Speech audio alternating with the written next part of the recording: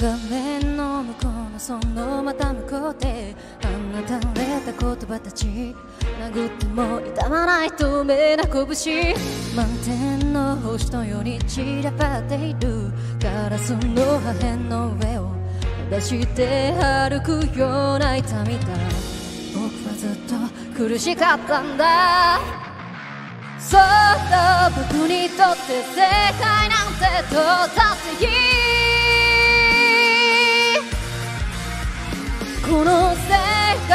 正しいか間違いか自分で決めたら持ち帰って鏡に映った僕の色は全部僕のためにやったのに気づいたらこの手を離れていた。名前も顔も隠したのに待つに僕の何がわかるの？輪郭さえぼやけそうな痛み。僕が全部取り返さなくちゃ何度遮ったってうるさいほどになるノイズが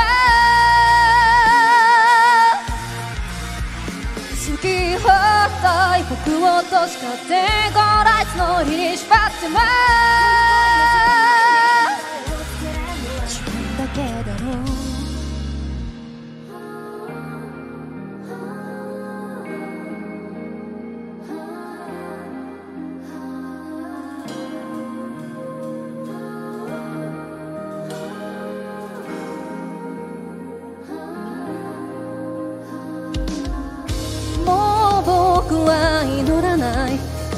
の街の頭上を降り注いだ慈愛を覚えはしない。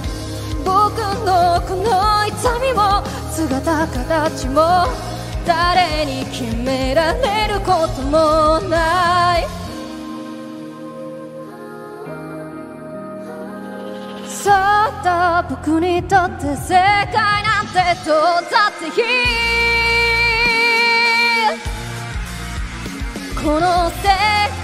正しいか間違いか自分で決めたら。あの日風の輝きにも幸福がはびこる。理想郷にも届かなくたって構わない。僕以外何もいらない。